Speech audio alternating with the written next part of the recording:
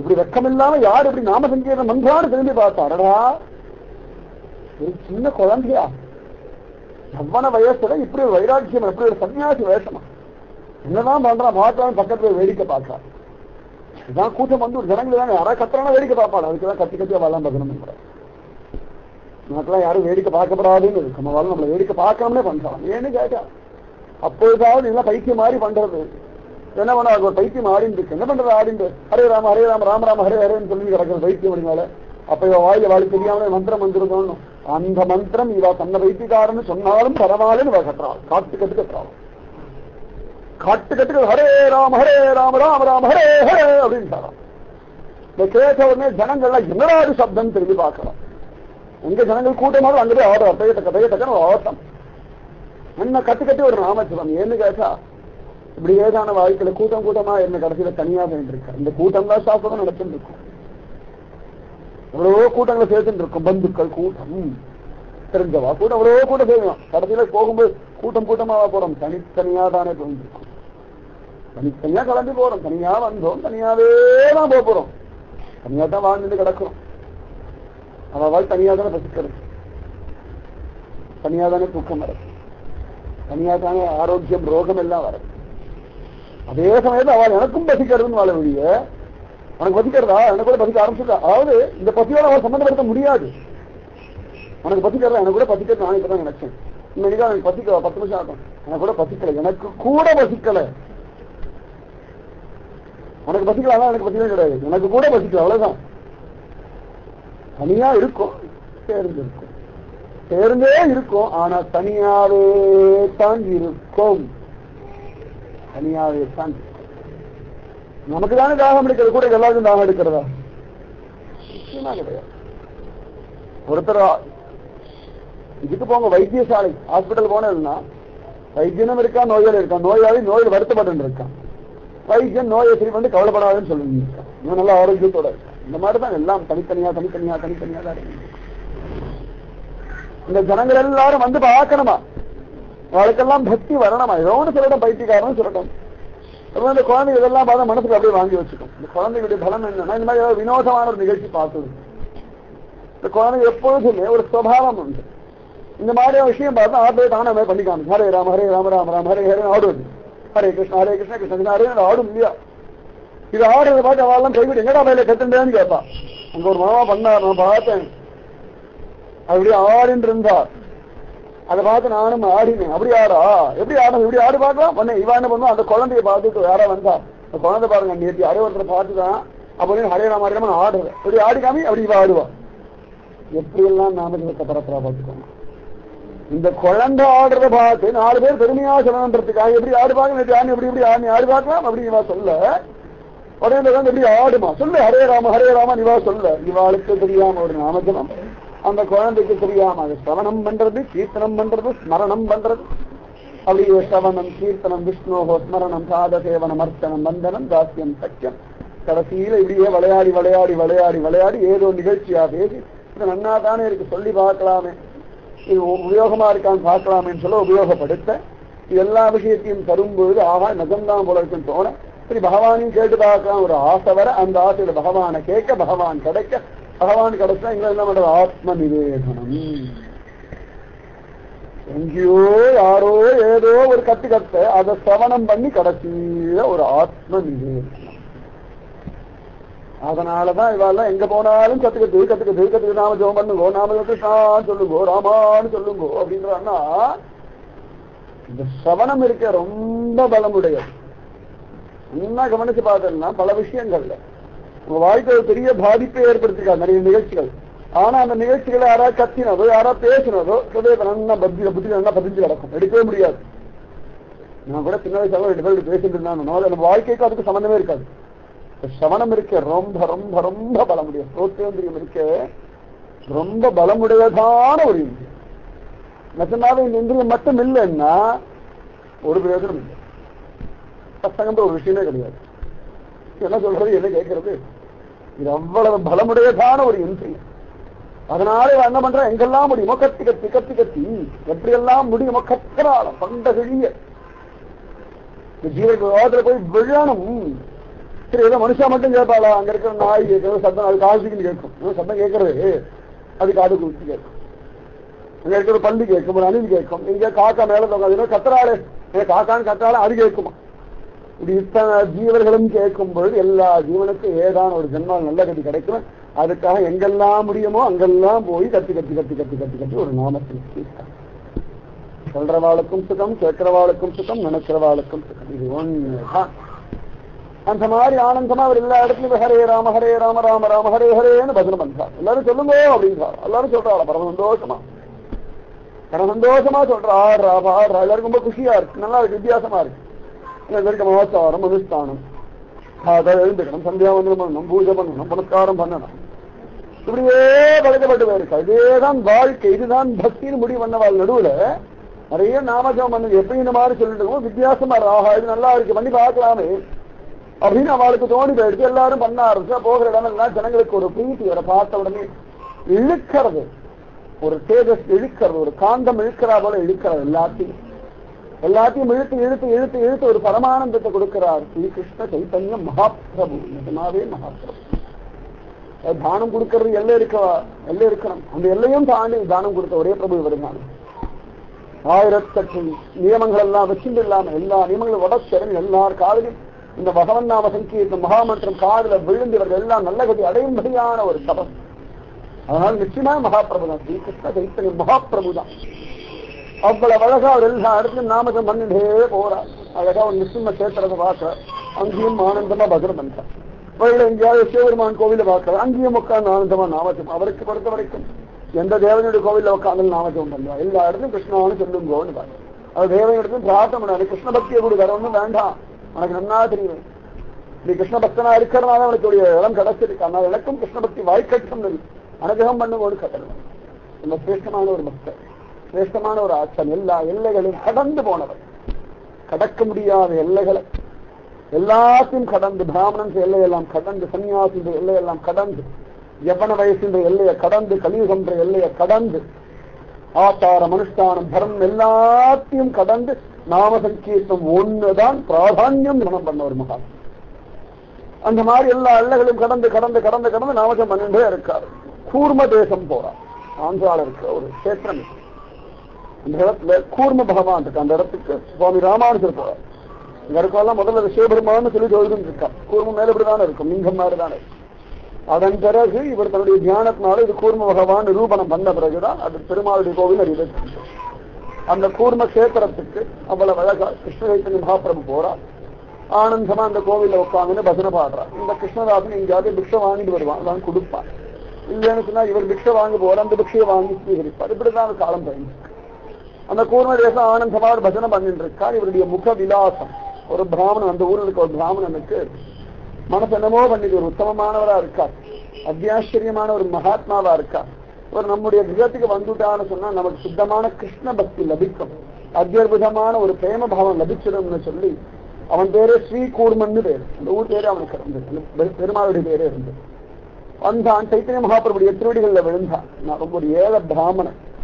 ஏதோ காலத்தை கடத்தின்னு கிடக்கிறேன் ஒவ்வொரு நாள் ஆனா என்னமோ தெரியல உங்களை மாதிரி ஒரு அதித்திய பாசா மனசுக்குள்ள ஒரு சந்தோஷம் கிடைக்கிறது அதனால பெரியவா எப்படியாவது என்னுடைய கிரகத்துக்கு வந்து அடியன் கொடுக்கிற ஒரு சின்ன உபகாரத்தை ஒரு சின்ன பிக்ஷை ஏற்றங்கள்லாம் என் ஜென்மா சாபல்யம் வரும் எனக்கு சுத்தமான கிருஷ்ண பக்தி வேணும் வேற வேண்டாம். பெரியதான ஒரு புண்ணியத்தையோ இது அற்புதமான ஒரு ஐஸ்வர்யத்தை எதிர்பார்த்தோம் அந்த காரியத்தை பண்ண நினைக்க வேண்டாம். நம்ம பார்த்தா உங்களுடைய திருவடிகளில் விழுந்தாச்சுன்னா நீங்க எங்களுடைய கிரகத்துக்கு எழுந்திருன்னு சொன்னேன்னா நிச்சயமா எனக்கு ஒரு கிருஷ்ண பக்தி வரும்னு மனசுல தோன்றது. அதனால தயவு செய்து வரணும்னு சொன்ன உடனே சைத்தன்ய மகாபிரபுக்கு சரி வரணும் அடுத்த வார்த்தை பேசுறேன். முன்ன பின்ன பழக்கம் கிடையாது. ஆனா அவனுடைய வினயம் சுத்தமான அந்த ஹிருதயம் அத்தியாச்சரியமான பகவத் பக்திக்காக இயங்கும்படியான அந்த பாவம் இதெல்லாம் பாவம் சரிடா வரையிட்டா உடனே அழிச்சுட்டு போனான். தன் கிரகத்துக்கு அழிச்சுட்டு போய் அவர் திருவடி எல்லாம் அலம்பி அவ்வளவு அழகா அந்த ஜலத்தை ஸ்வீகரிச்சு வீடு முழுக்க அதை புரோக்ஷணம் பண்ணி தன் மனைவி மூலம் அழகா தலை தலிகை எல்லாம் தயார் பண்ணி அத்தியர்புதம் ஆகாரம் எல்லாம் கொடுத்தான். நன்னா சாப்பிட்டு அவனுக்கு என்ன முடியுமோ அதை கொடுத்தான் எத்தனை மகாபிரபு அவனுடைய இல்லத்தை பரம பவித்திரமாக்கிறதுக்காக சாப்பிடறாளே ஒழிய தங்கள் வைத்திருப்பதற்கு அவள் சாப்பிட வேண்டிய அவசியம் இருக்கான் அவள் இருந்த இடத்துல எத்தனை நினைச்சாலும் தரிசனம் அவள் தன் வயிற்று பசியை தீர்ப்பதற்காக போய் ஒவ்வொருமா போய் போய் போய் போய் சாப்பிட வேண்டிய அவசியம் அவள் கிடையவே கிடையாது. அந்தந்த ஜனங்களுடையதான பாவத்தை அழிப்பதற்காக அவளுடைய பக்தியை வளர்ப்பதற்காக. அவர் மேல இந்த அன்னம் தானே சரீரத்தை நடத்துறது. அன்னாத் பவந்தி பூதானி. ஜீவனெல்லாம் அன்னத்தினால தானே இருக்கு. இந்த அன்னத்தினாலதான் சரீரம் இருக்கு. சரீரத்தினாலதான். பக்தி பண்ண முடியும். அதனால அஸ்திவாரம் என்கிறது அந்த அன்னம். எத்தனைக்கு எத்தனை இந்த அன்னம் பரிசுத்தம் ஆடுறது அத்தனைக்கு எத்தனை சுத்தமான பக்தி உண்டாது அதனால என்ன பண்றா? எல்லா கிரகங்கள்லையும் போய் அவகாரம் ஏத்துக்கிறா. ஏன்னு கேட்டா இந்த அன்னத்தை இவா சாப்பிடும் பொழுது அந்த அன்னத்தை அவ பண்றதுனாலையும் அந்த அன்னத்துடைய உச்சிஷ்டம் இருக்கணும் அந்த உச்சம் எத்தனை எடுக்கிறதுன்னு அர்த்தம் கிடையாது. அது எடுத்தாலும் பரம பவித்திரமானதுதான். உச்சிஷ்டம்னு சொன்னா ஒரு அடுத்த டின்னு வாங்கி ஒரு ஒரு மூட்டை வாங்கி வச்சுன்னா ஒரு படி எடுத்து வாழை கணிதம் சொன்னா மீதி அவ்வளவு படி இருக்குமே அந்த படி இவா சாப்பிடும் பொழுது அவளுக்குள்ள ஒரு சுத்தி ஏற்படும் பாவ சுத்தி வரும். அந்த பாவம் காரணம் கொண்டு அவளுக்கு அகம்பாவம் அழியும். அது அழியும் பொழுது சுத்தமான பக்தி லபிக்கும் நாமஜபம் லபிக்கும். அது காரணம் கொண்டு கிருஷ்ணடத்துல பிரீத்தி உண்டாகும் பிரீத்தி உண்டாக பிரபத்தி சரணாகதி பண்ணுவா சரணாகதி பண்ணும்போது கிருஷ்ண தரிசனம் கிடைக்கும். கிருஷ்ண தரிசனத்தினால இவா ஜென்மா சாபல்யமாக ஆனந்தம் இருக்கு ஏதோ ஆகாரம் சாப்பிட்டு இருக்கா என்ன அவசியம் இருக்கு? என்ன அவசியம் இருக்கு? அது முன்ன பின்ன தெரியாது. பழக்கமா இல்லாத ஒரு இடத்துல போய் ஆகாரம் சாப்பிட வேண்டிய அவசியம் இருக்கு? அதையும் மீறி போற. அவனுக்கு என்ன முடியுமோ கொடுக்கலாம். பத்திரம் புஷ்பம் பழம் தோயம் யோமே பக்தியா பிரயச்சதி. ததகம் பக்தி உபகிருத்தம் அஸ்னாமி பிரயதாத்மனக அப்படின்னு சொல்லி அந்த ஆகாரத்தையும் ஏற்கின்றான் ஏற்கின்ற பிறகு அவன் கிரகத்திலே ஒரு மூலையில் அப்படி படுத்திருந்தான். ஆனந்தமா அந்த குடியில பவித்திர மாத்திரம்னா படுத்திருந்தான். அவன் திருவடி எல்லாம் படுத்து விட்டான் அவனும் ஆகாரம் எடுத்து வந்தான். சைத்திய மகா பக்கத்தில் உட்காந்துருந்தான் சொல்லுப்பா ஏதோ கேட்கணும்னு நினைக்கிறீங்க. சபோ சம்சாரம் ரொம்ப கஷ்டமா இருக்கு. நித்தியம் நித்தியம் நித்தியம் நித்தியம் ஏதோ ஓடுறது காலம். இதெல்லாம் அனித்தியம் எனக்கு புரிஞ்சு போயிடுது. சுத்தமான கிருஷ்ண பக்தி உண்டாகும். நம்ம பார்த்த உடனே ஹிருதயத்துல ஒரு சாந்தி கிடைச்சது அதனால தயவுசெய்து என்னைய அழிச்சுட்டு போயிடுங்க எனக்கு வேண்டாம். பா, இல்லப்பா உனக்கு கடமை இருக்கு பொறுப்பு இருக்கு. நான் பெருமான் பார்த்துருப்பான் ரொம்ப அசாத்தியமான ஒரு தைரியம் எல்லாரும் பண்ண முடியாது குரு. சொன்னால் ஒழிய கிளம்புற அதிகாரம் நமக்கு கிடையாது. அப்படியே கிளம்பினாலும் சரிபட்டு வராது. குரு குருப்படி கிளம்பலாம். அப்படின்னு சொன்னால் ஒழிய கிளம்பக்கூடாது. அப்படியே நம்முடைய மனோவேகத்தினாலேயோ ஆசையினாலேயோ கிளம்பினோம்னாலும் சரிபட்டு வராது. ஏன்னா சிலதெல்லாம் பிரசவ வைராக்கியம் மாதிரி. ஒரு கஷ்டமா தான் வேற ஒண்ணு வேணாம் போ அப்படிங்கிறார் முக்காவாசி நம்முடைய வைராக்கியம் எல்லாம் ஒரு கஷ்டம் வந்து கொடுத்து இல்லாட்டி கடைக்கலை. அதனால ஒரு பிரச்சனை வருதுன்னா ஒரு வைராக்கியம் வருது. அவ்வளவுதான். மற்றபடி வைராக்கியம்ன்றது இதெல்லாம் அதோடைய உண்மையான தன்மையை உணர்ந்து வரக்கூடிய வைராக்கியம் இல்லை. அது கடற்கல வெறுப்புல ஒரு வைராக்கியம் வரும். அதை அனுபவிக்கும் போது பிரச்சனை வருதுன்னா அது வேண்டாம்னு ஒரு வைராக்கியம் வரும். அவ்வளவுதானே ஒழிய. மற்றபடி அந்த வைராக்கியத்துக்கு ஒன்றும் பெரியதான ஒரு பக்குவம் இல்லாத ஒரு தன்மைலாம் ஒண்ணும் கிடையாது. அவசரத்தோடு வைராக்கியம். அதனால அந்த வைராக்கியம் என்ன ஆகட்டுன்றதால அப்பா இல்லப்பா இங்கேயே இரு. விடாமல் நாமஜபம் பண்ணிட்டு நான் தென்தேச யாத்திரையெல்லாம் போயிட்டு வரும் பொழுது நான் அழிச்சுட்டு போறேன் அப்படின்னு. இந்த ஒரு வார்த்தையே போதுமே அதனால ஜீவத்தை ஓட்டேன்னுட்டான் அடுத்த நாள் காத்தால சைத்திரி மகாபிரபு அந்த ஸ்ரீ கூர்ம தேசத்துலேருந்து கிளம்புறாரு. அப்படியே கிளம்பியாச்சு. ஊர் எல்லை வரைக்கும் அவர் போயாச்சு. கிளம்ப ஊர் எல்லையே கடக்க போறார்.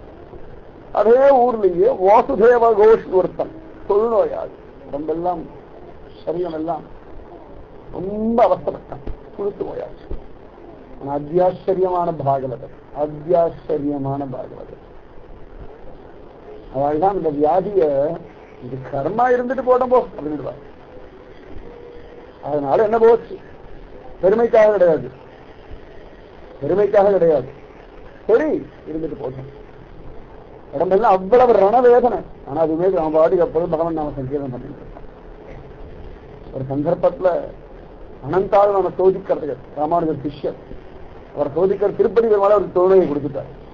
உடம்புல எலும்பு தெரிய ஆரம்பிச்சிடும் அப்படி ஒரு சிட்டியில கூட திருப்பதி பெருமாள் வந்து அப்பா நான் சரி பண்றேன்னு நான் உன்னை கேட்ட நான் போயிடுட்டார் நீ என் கர்மா நான் அனுபவிக்கிறேன். நீ யாரும் சரி பண்ற கிளம்பி போயிட்டேன்னு திரும்பி வந்துட்டான் பகவான். நான் அவளை கேட்கிறேன் வேண்டாம்னு சொல்லிட்டானே. என்ன தாயார் அங்கேயும் திட்டினான் குழந்தை அப்படிதான் சொல்லுவான் உனக்கு என்ன தெரியும்? சரி பண்ணிட்டு வாங்க திருப்பி அனுப்பி விட்டான். அதான் தாயாடி கிட்ட அதன் பிறகு வந்து திருப்பி சரி பண்ணி விட்டான். திருப்பதி அந்த மாதிரி இது ஏதோ சரீர அவஸ்தைன்றது. பிராரம்ப கர்மா. என்ன காரணத்துல வந்து அதி- அத்தியாச்சரியமான பரம பாகவதம். குடும்பத்தை எல்லாம் ஒதுக்கிட்டான் ஊர் ஜனங்கள்லாம் தீர்த்து அங்கேயே நின்றுட்டான் சமூகத்தோட ஒரு இடம் கிடையாது. இங்க யார் ஏதான ஆகாரம் கிடைச்சா சாப்பிடுவான். யாருக்கும் பிடிக்காது. சரீரமே பிராதான்யமான உலகமாச்சு அது பெத்த அப்பனா இருந்தாலும் சரி பத்து மாசம் சம்மந்த தாயா இருந்தாலும் சரி தாலி கட்டின மனைவியா இருந்தாலும் சரி கூடப்படுத்த கணவனா இருந்தாலும் சரி கர்ப்பத்திலே இருந்து வெளில வந்த குழந்தையா இருந்தாலும் சரி பிடித்த நண்பனாகவே இருந்தாலும் சரி சரீரத்துல ஒரு கஷ்டம் வந்துடுத்து அதுவும் முக்கியமா இந்த மாதிரி வியாதி வெளியில விரும்படியான வியாதி வந்துடுத்துனா பக்கத்துல நெருங்க கூசுவா உள்ளுக்கு ரகசியமா இருக்கிறது வியாதினா பெருசா யாருக்கும் தெரியாது அவருக்கு உடம்பு முடியல இந்த சரீரத்தை உடம்பெல்லாம் புண்ணு ஆயிடுச்சுன்னா நெருங்க மாட்டா கண்டதோடு பட்டதல்ல அப்ப கூட கிடையாது.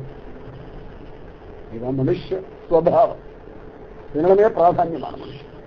அவன் எல்லாரும் ஒதுக்கிட்டானா அவனுக்கு எப்பொழுதுமே யாராவது இது மாதிரி பிரியவா வந்தாலும் போய் தரிசனம் பண்ணுவான். இந்த மாதிரி இந்த பிராமணன் வீட்டுல ஒருத்தர் இருக்கான்னு கேட்டு ஓடி வந்தான். அதுக்குள்ள சைத்தன்ய மகாபுரம் கிளம்பி போயாச்சு. கதறி எழுதான் பிரபோ எல்லாரும் ஒதுக்கியாச்சு ஊரிலேன் காணி இல்லை உறவு மற்றொருவர் இல்லை பாரில் நின் பாதமூலம் பற்றிலேன் பரமமூர்த்தி காரொளி வண்ணனே கண்ணனே கதறுகின்றேன். ஆருளர் கலைகணம்மா அரங்கமா நகருளானன் கதற மாதிரி எனக்கு ஒண்ணும் இல்லை மனத்திலோர் தூய்மை இல்லை வாயிலோர் இன்சொல் சினத்தினால் சுத்தம் நோக்கி தீவிழி விழிவன்வாளா? குணத்துழாய் மாலை. எல்லாம் கேவலமா இருக்கு. எல்லாரும் ஒதுக்கியாச்சு. நீயும் ஒதுக்கிட்டு நான் அங்க போவேன்.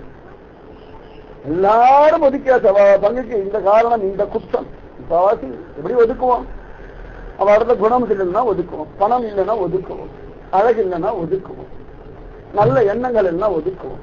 கெட்ட விஷயங்கள் பண்ணா ஒதுக்கும் ஒதுக்கிறது என்ன எவ்வளவுதானே இந்த சரீரமானது செய்யா இல்லைன்னா ஒதுக்கிடும் இந்த சரீரத்தினால பிரயோஜனம் இல்லைன்னா ஒதுக்கணும் சரீரத்தினால பிரச்சனை என்ன ஒதுக்கணும் ஒரு பிள்ளை இருக்கா போல குடிச்சுட்டே இருக்கான் அட்டகாசம் பண்ணிட்டே இருக்கான். மகா பாவியாவே இருந்துருக்கான் ஆனா ஒதுக்கிடுறாள். என்னால ஒண்ணும் முடியாது. உனக்கு எனக்கு சம்பந்தம் இல்லை போ. அதே பிள்ளை நன்னா படிச்சுட்டான் ஜோரா பணம் வாங்கிட்டான். லோகத்துல பெரிய பெருமையோட இருக்கான் உனக்கு எனக்கு சம்பந்தம்னு சொல்றாளா? சத்தியமா சொல்றது கிடையாது. ஆனா அந்த மாதிரி எல்லாரும் ஒதுக்கினாலும் கூட பகவான ஒதுக்க முடியுமா? குருவால ஒதுக்க முடியுமா? குரு ஒதுக்கியாச்சுன்னா யார் கை தூக்கி விடுறது அந்த ஜீவன்? அந்த மாதிரி எல்லாரும் ஒதுக்கியாச்சு. நீங்களும் என்ன ஒதுக்கிட்டால நான் இனிமேல் எங்க போவேன்னு கதறினான் இவன் இங்க கதர்ன கதர் ஊர் எல்லைக்கு போன சைத்திர மகாபுரம் காதுல விழுந்துச்சு ஹிருதயத்தை ஒழிச்சு விட்டாடா ஏதோ ஒரு ஜீவன் எனக்கா ஏன்னு ஓடி வந்துட்டான் யாராலையும் தடை பண்ண முடியாது இந்த ஆச்சாரியன. இவன் தன்னுடைய சுத்தமான பாவத்தால் எனக்கு யாருமே இல்லையே. அனாதி ஆயிட்டேன்னு இந்த அனாதியை காப்பாற்ற வரமாட்டேலான்னு ஒரு கதறு கதறான அந்த அனாதைக்கு ஓடி வந்துட்டார் பெத்த அம்மாவையும் தாலி கட்டின மனைவியும் அனாதையா விட்டுட்டு ஹரி காப்பாற்றுவான்னு வந்தார் சைத்தன்ய மகாபிரபு. கூட வந்த சகாக்கள் நித்யானந்தம் முதற்கொண்டு உங்க கர்மாவை பண்ணுங்கோ அப்படின்னு சொல்லிட்டு வந்தா. அவெல்லாம் அனாதி ஆக்கிட்டு வந்தா. ஜெகநாதன் அவனையும் அனாதி ஆனா அந்த சைத்தன்ய மகாபிரபுவுக்கு இவனை அனாதையாக்கிட்டு ஆக்கிட்டு போகிறதுக்கு மனசு வர மாட்டேங்க உடனே ஓடி வந்து சாராம். வாசுதேவான்னு கத்துறாராம். பிரபோ கத்துறா அப்ப முதல்ல ரெண்டு பேரும் பாக்குறா ஆனா ஜென்ம ஜென்மாந்திர பலம் இருக்கு. ஒரு ஓடி வர ரெண்டு பேரும் வாடா வாடா வாடா அப்பா அப்படின்னு வாரான் உன்னை கட்டி அணைச்சிருந்தாதான் என் சரீரம் பவித்திரமாகும் ஐயோ அவன் ஓடுறான். ஐயோ என் சரீரம் வேண்டாம். இது ஒரே அசிங்கம் கேவலம் மலமுடை ஊட்டை.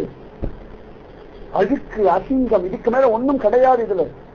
உயிருக்காக ஏதோ சரீரத்துல பலம் இருக்க உயிர் இந்த சரீரம் அவ்வளவு கன்றாவியா இருக்கு. தயவு செய்து உம்முடைய மிருதுவான கோமலமான பொன்னிறமான ஒரு சரீரம் இந்த சரீரத்தை தொட வேண்டாம் உடம்புல இருக்க புண்ணெல்லாம் ரொம்ப அசிங்கமா இருக்கு. தொடாதே ஓடி வந்து இழுத்து பிடிச்ச ஒரு கத்தி அனுப்பிட்டாங்க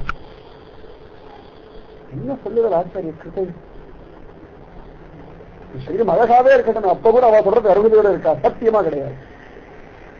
சரீரம் அழகா இருக்கத சுத்தமான பாவம் இருக்கத ரம்பையாவே இருக்கட்டுமே. போ அப்படிங்கிறது என்ன அவசியம் இருக்கு? அவ சரீரத்தை பார்க்கிறவள் சரீரத்தை தாண்டி ஆத்மா. அந்த அந்தரியாமி அந்த சித்தமான பிரேம பாவம் அத்தியாச்சரியம் பக்தி வினயம் நாம சங்கீர்த்தம் ஸ்ரத்த இதை பார்க்கிறவா. கட்டி அணைச்சுட்டா கதறான். எனக்கு இப்படி அனுகிரகமா உடனே ஆனந்த குதிச்சானா இதுக்குதான் இத்தனை பேர் சேர்ந்து ஒதுக்கினாளான்னு எல்லாரும் ஒதுக்கின ஒரு காலம் ஒரு செய்தி மகாபுரம் கிடைச்சுட்டாரு. ஒரு காலம் சரீரம் என்ன இருந்ததுன்னா எல்லாரும் கொண்டாடினா இந்த பக்தின்னு ஒண்ணு வந்திருக்குமான்னு தெரியாது. இப்படி ஒரு சைத்தன்ய மகாபிரவனை கட்டி அணைச்சென்றிருப்பாரான்னு தெரியாது. சமயத்துல உள்ளுக்குள்ள இருக்க ஒரு ரோகமும் நல்லதுதான் பண்றது நம்முடைய பிராரப்த கர்மாவில உழந்த பாபமே பண்ணியிருந்தாலும் அந்த பாபமும் ஒரு குரு கிருப்பைக்கு அத்தியாசமா விசேஷமா கிடைச்சிட்டுதான் இருக்கு. உத்தமமான குணங்களா இருந்தாலும் குரு கிருபன்கா பாபத்தின் எல்லையில இருந்தாலும் கிருபன்கா இந்த குரு கிருபையில எப்படி பாரபட்சம் இருக்குன்னு சொல்ல முடியும். உத்தமனாகவும் சிஷ்யர்களா இருக்கான் மகாபாதியும் சிஷ்யாலா ஏத்துக்கிறான் ரெண்டு பேருக்கும் பகவத்தன கிரகத்தை கொடுக்கறான்னா இது எங்க பாரபட்சம் இருக்கு? கட்டி அணைச்சுட்டா கட்டி அணைச்சுட்டாரோ இல்லையோ இவன் சரீரம் தக்க தக்க தக்கனா இருக்கு. ஒரு புண்ணு இல்ல ஒரு தழும்பு இல்ல ஜொலிக்கரம் பரம பவித்திரமான ஒரு தேகம் தானே கட்டி அசைந்தார் அவன் கண்கள்ல ஆனந்த வாசம் திருவடியில விழுந்தால் இந்த நீசனை கரையேற்றிட்டேள உன் பக்தி கரையேற்றா உன்னுடைய ஸ்ரத்தடா? நிறைய நாமஜம் பண்ணு ஆசீர்வாதம் பண்ணா கிளம்பி போயிட்டார் வந்தா கிருப பண்ணா கிளம்பி போயாச்சு என்ன சரீர சம்பந்தமா? ரத்த பந்தமா? குடுக்கல் வாங்கலாம் ஒரு பத்து வருஷம் பழக்கமா? அதான் எதிர்பார்ப்பா. என்ன இருந்தது வாசுதேவனுக்கும்?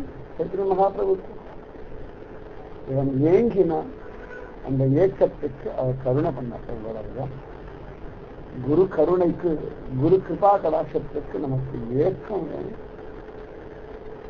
அது ஒன்றுதான் என்னுடைய குடுக்கல் வான்கள் ரத்த பந்தம் எதுவும் அவசியம் இல்லை.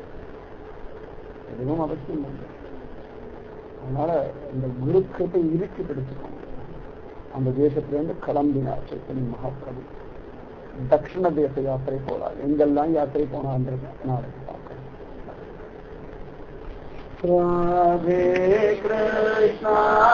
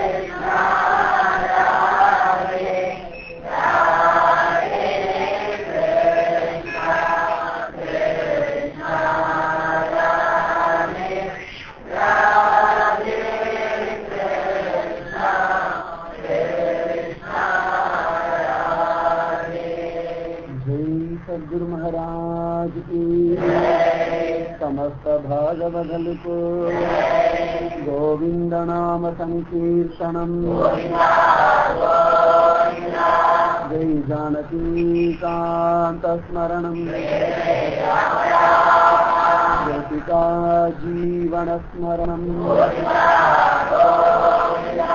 ஆழ்வார் திருவடிகளே சரணம் ஆழ்வார் திருவடிகளே சரணம் எம்பெருமானார் திருவடிகளே சரணம் सर्वं दुरासनम् जय श्री राधे कृष्णा सत्संग की जय। जय श्री पूज्य श्री श्री अम्मा जय। जय श्री भारत माता की जय। लोकारसमस्ताविनोदो लोकासमस्ताविनोदो लोकासमस्ताविनोदो